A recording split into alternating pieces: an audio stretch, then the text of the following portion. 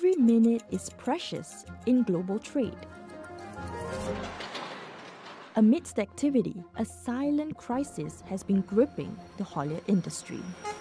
Generally, the trucking industry globally has some of the key issues are high operational costs and uh, high carbon emissions. The biggest one being manpower shortages and the aging workforce. But what if there was a more efficient way to move goods from port to destination? What we're using is something called tour planning. What is this AI model or the machine learning model does to find the best route. So when a container or a truck has to go from point A to point B or point B to point C, the algorithm is able to efficiently predict the best way to move a normal human eye on a picture can only look at 30 40 attributes. Digital Reality Index, it goes beyond 900 attributes on one static picture.